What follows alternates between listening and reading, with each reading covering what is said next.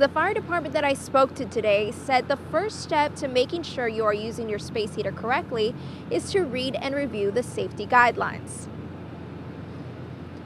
According to the National Fire Association, one third of all winter fires are caused by space heaters. If you are using a space heater, the fire department says to be mindful of where you place it. They have to be at least three feet away from anything that may be burned easily bedding, curtains, clothing, and other furniture.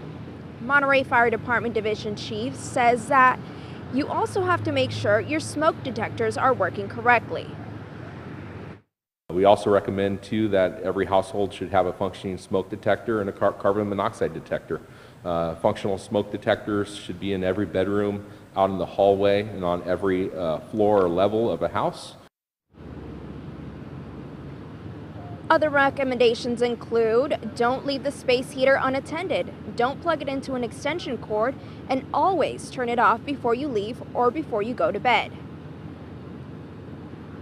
Remember, remember, safety is always important when using space heaters. So stay warm this winter and in Salinas, Leslie Duarte, KSBW, Action News 8.